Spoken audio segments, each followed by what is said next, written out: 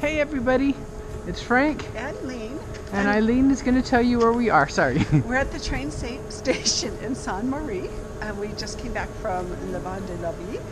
And um, so you see, this town is actually really beautiful. It'd be nice to spend a little more time here, but of course, as usual, we're on a time frame.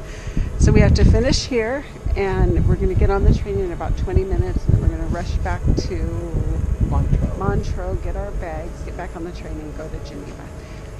So Eileen, what did you think of the uh, Le Bons, Levine, Levine, Le Bons, whatever it it's was called? beautiful. It was really relaxing, very nice, not crowded at all. You feel so warm and nice outdoors.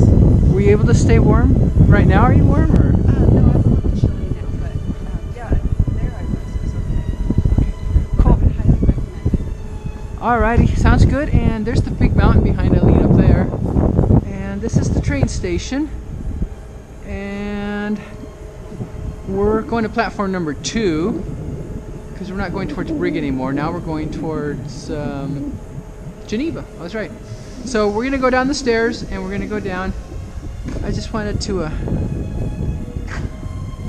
show you a little bit of the station here. It's a very small little town, really quaint. It's beautiful.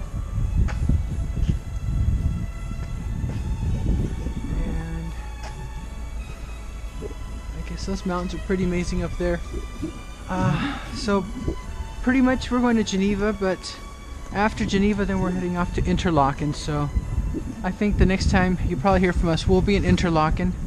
Uh, we're going to Beatenberg.